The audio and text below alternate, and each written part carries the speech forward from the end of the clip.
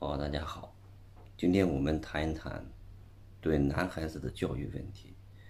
提到对男孩子教育问题，我觉得必须提到这个黄光裕这个人。为什么要提到这个人呢？我们先看一段视频。但他的每一次出狱假消息都能搅动资本市场翻云覆雨，他就是一代枭雄黄光裕。黄光裕当年到底有多厉害呢？商界教父与价格屠夫就是当年人们对他的称呼。二零零八年，黄光裕第三次问鼎中国首富，公司营业额高达一千二百亿，而马云当年才三十亿，刘强东还在为十亿销售额而发愁，万达的王健林也只是他的小弟。董明珠曾叫板他，结果格力电器直接被黄光裕霸气清除国美卖。场有人说，如果黄光裕当初没有坐牢，恐怕也没有马云、王健林什么事儿。虽然过去没法假设，但枭雄回归势必改变中国商业新格局，我们拭目以待。其实通过刚才的视频，我们可以看到，黄光裕他的文凭很低，但是他有我们一般男人都有共性的东西，就是一个胆，胆非常的大。那同样，根据他的生活的阅历和他经商的经历，十六岁开始经商，一路走来。那么，一个男人如果没有胆，他就没有承担责任的这种能力；没有胆，他就不敢放开手脚去做一些事情。所以，我觉得男孩子第一个是胆的问题。第二问题是师师资的师啊，虽然说黄光裕他文化不高，但是我们不能说啊他这个学识不好，应该说他从这个几十年的经商来说，经过很多次的磨难，他这个经验的得来，很多时候是读书，所以他说。文凭不一定是重要的，但是读书必不可少的。那么下边呢，我们来看一下一段视频。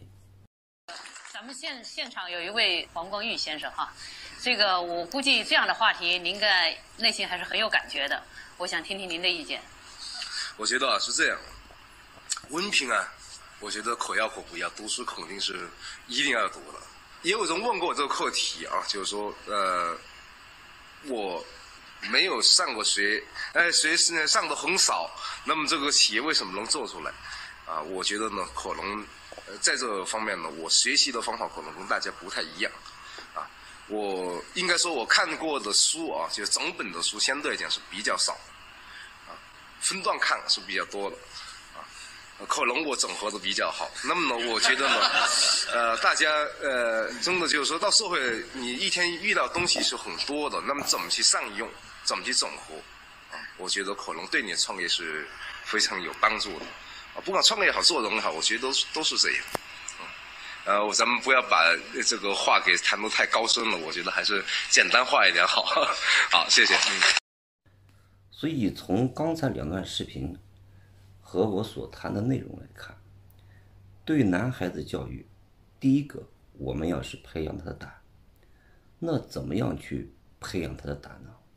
第一个，我觉得来说要有冒险精神，就是说，小孩在三岁之前和三岁之后，父母尤其是爷爷奶奶，一定放开手，在孩子相对安全的情况下。我们放开手，让他去做一些事情，让他自己动手，啊，让他自己动脑去判断事物，而不是我们父母呢一味的包办过来。如果是这样的话，长期在父母或者是这个长辈的呃庇护之下，对男孩子这个成长是不利的。所以说，我们从黄光裕身上看到那种。霸气、王者之气，这个来源里，我相信与他小时候的成长经历一定是有关的。所以，男孩子早期啊，在培养胆的时候，我们一定要教住他的这个判断力，然后要放开手，让他去做一些事情，哪怕是错的，哪怕结果是失败的，也要让他有这种经历，这是非常重要的。所以啊，这个胆是男孩子共有的。那反过来，如果男孩子没有胆的话，即使他的后来考上很好的学校，啊，有个很不错的工作，但是要想成就一番事业来说，是很难的，因为性格决定人的命运。那么对于胆小的人来说，他首先对问题的判断和对做一件事情他考虑的后果。